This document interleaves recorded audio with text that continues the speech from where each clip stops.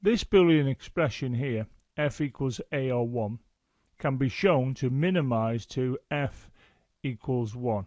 In other words, a or 1 can be minimized to 1.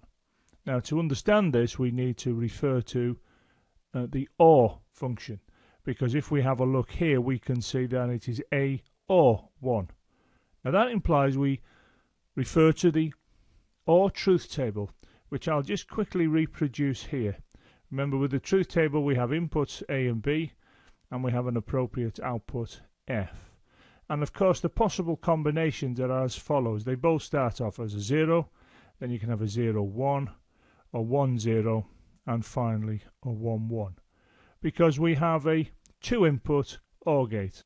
Now the only time we have a 0 at the output for an OR gate is when both the inputs are 0. So this would be a 0 here and all the others would be a 1 because with an OR gate you have a 1 at the output if there is at least one 1 present at the input or both of the inputs are 1. So that's the truth table there. One of the things we can see however is that we have this here, we have A. So that is a variable. Now that implies that A can be a 0 or a 1. Now here however we can see that this is fixed as a 1. In other words, that does not have the opportunity of being a 0. If we now look to the truth table, what conditions would satisfy this? Well, a is a variable, so a can be a 0 and a can be a 1. But where is the other input, the B input? Because really what we're saying here is that this input is in fact the B input, and we're saying that is fixed to a 1. So that is this input here when b is a 1 and this one. Consequently, the two combinations we're interested in here is this one when we can see that A is a 0 and B is a 1 and this one here when A is a 1 and B is a 1 and both of those conditions give us at the output a 1 as you can see here and here. Consequently, we can argue just by looking at the truth table that f equals a or 1 in fact is 1. If we take the expression again, which is f is a or 1, and we've already tried to say that this is 1, and in fact hopefully we've proved it already. What I want to do now, however, is to look at the two possible conditions that exist for f equals a or 1. If we have a look at this logic symbol here, which is a logic symbol for a two input OR gate, what we're really saying is that the input here is an A and the other input is fixed as a 1.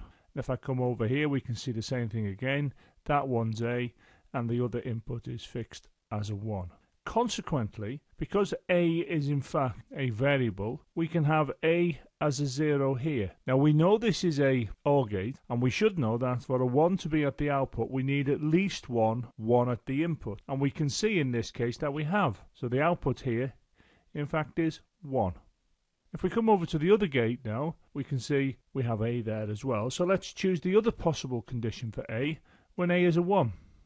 Of course, the other input is fixed as a 1, and we should know from the truth table that 1 or 1 in fact gives us a 1 at the output. So in other words, regardless of the condition of A, we will always have a 1 at the output. So when we see F is A or 1, we should realize that, well look, we have at least one 1 present at the input to a two input OR gate and that's sufficient for us to have a 1 at the output. In other words, we could say it doesn't matter what A is.